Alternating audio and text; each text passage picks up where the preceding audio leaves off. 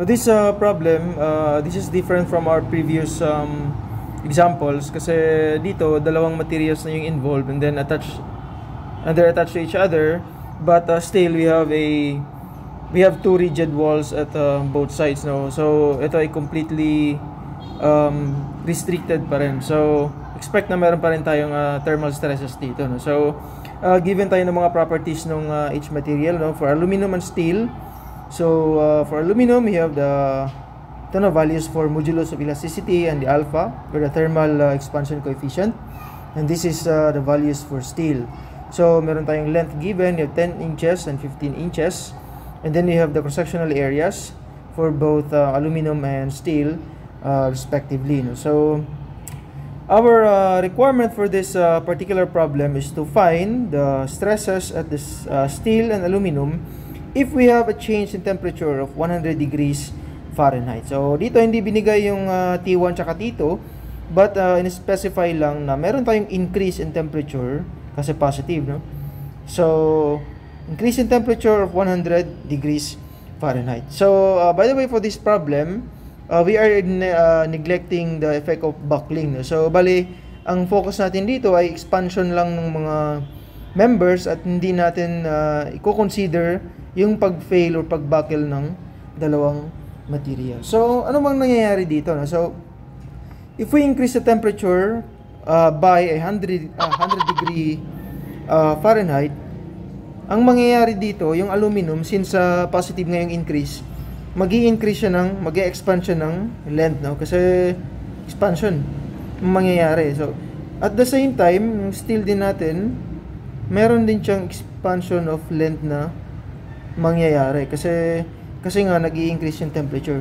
So since ditong uh, itong mga walls natin ay hindi naman gagalaw, so ibig sabihin magtutulakan yung aluminum natin at saka yung steel. So merong mangyayaring deformation due to temperature. Yan for uh, steel. Ano for aluminum, this is uh, aluminum na deformation. At meron ding mangyayaring deformation due to temperature sa steel. At habang nangyayari yung expansion for uh, both materials, meron ding uh, corresponding stresses kasi itong aluminum, ipupush niya yung steel, at saka yung steel naman, ipupush niya yung uh, aluminum. So, ang mangyayari dito, uh, meron tayong uh, deformation na caused by your thermal stresses, corresponding thermal stresses, and meron tayong deformation caused by your temperature. So, meron tayong uh, deformation caused by your temperature, And then you have the deformation caused by your stresses or yung P or yung compressive forces from steel and aluminum na pushing each other. So, we have deformation um, due to temperature from aluminum plus deformation steel. Lagyan lang natin ng T dito no? just to denote that this is from temperature. And we also have deformation aluminum plus deformation steel na dulot ng yung compressive na forces. So ito na yung magiging working equation natin to solve this uh, particular problem.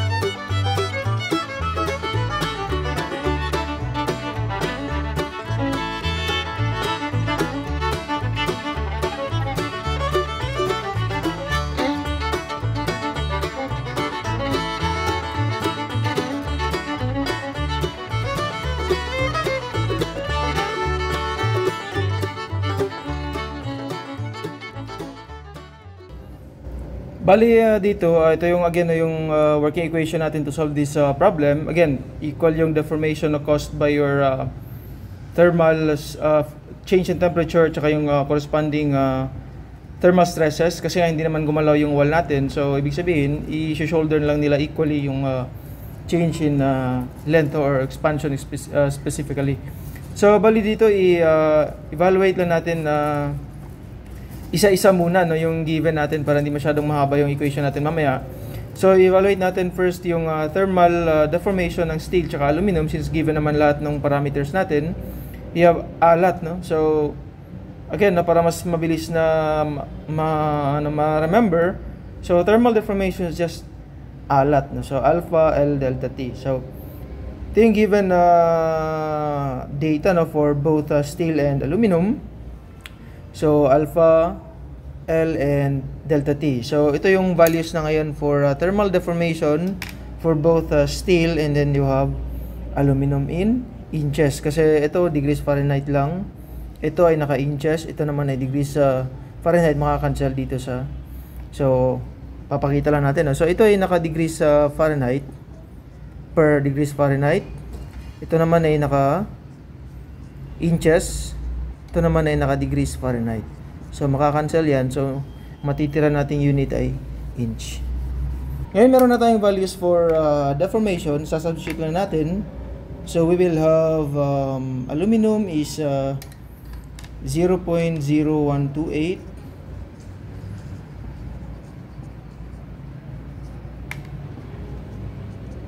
Ang stresses natin is uh, PL over AE. PL over AE, this is aluminum plus we have PL over AE this is for steel. Bale ang mangyayari dito pareho sila ng P equivalent lang yung force sa pagtutulukan nilang dalawa. Parehong force lang na experience nila. Pero iba magkaiba yung stress. Magkaiba yung stress kasi magkaiba yung cross-sectional area ng aluminum tsaka steel. Pero yung force na na-experience nila ng compressive force ay pareho lang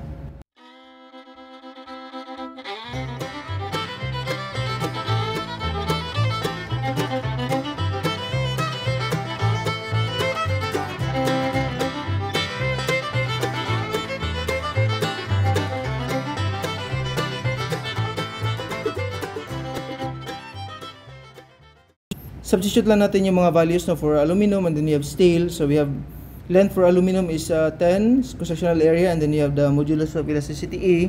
And same goes with uh, steel, 15 inches na length. This is the cross-sectional area na 1.5 so mas malaki yung aluminum. Then you have the modulus of elasticity for steel which is uh, 29 times 10 to the 6 uh, yung units natin, ito naka PSI, for example, ito naman naka inch square. So, makakancel yung inch square dito tsaka yung inch square dito. No? So, inch naman ito, makakancel sa inch dito. So, anyway, susulat na lang natin. Ito, may inch tayo dito. Ito naman sa taas, meron tayong inch. Sa baba, meron tayong inch square. Tapos, meron tayong pounds per and inch square kasi PSI. So, magka-cancel to, cancel. We have cancel. So, matitira is pounds na lang. So, yung resulting P natin is in pounds. So pare lang pare lang to at saka ito no. So pag-add natin pare lang 'yan.